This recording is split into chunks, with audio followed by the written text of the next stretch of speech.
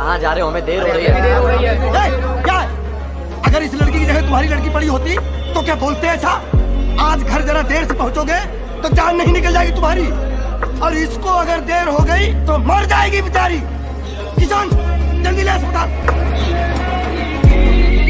गाड़ी स्लो क्यों कर दी सिग्नल है। अरे तोड़ दे सारे सिग्नल। ये बस नहीं है ये बगैर सायरन की एंबुलेंस है। निकाल